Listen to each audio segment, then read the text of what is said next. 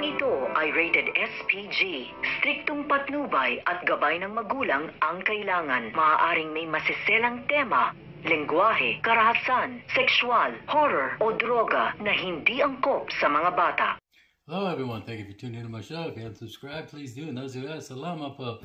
And it, samag damag. Today we start off with is Rita has Peterson and Toupee in the same room. She tells them both. Tupe puts his hand out to shake it, uh, Peterson, and, you know, saying, let's just get along for the child. Rita tells Peterson he can visit the child Tuesday, Thursday, and Saturday. Tupe can have the other days except Sundays is her day with the child. So she lays down the rules. The next thing you know, she gets a visit from Peterson's mom. Peterson's mom tells him, I wish the child was never born.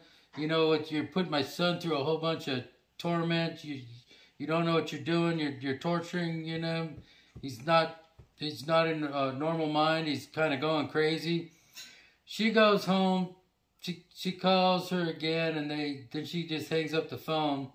Next thing you know, she goes to sleep, and before she goes to sleep, she looks at the picture of her and her husband and says, "Maybe Rita's right. You know, our son's you know going crazy over her."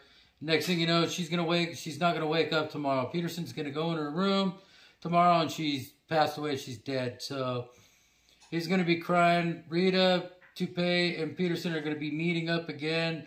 I don't know if it's on the funeral day, and he's like, "What are you doing here?" So we're gonna have to find out and see what happens in this show. Salama po for tuning in, all my subscribers. If you haven't subscribed, please do. Everyone, stay safe and God bless. Bye bye.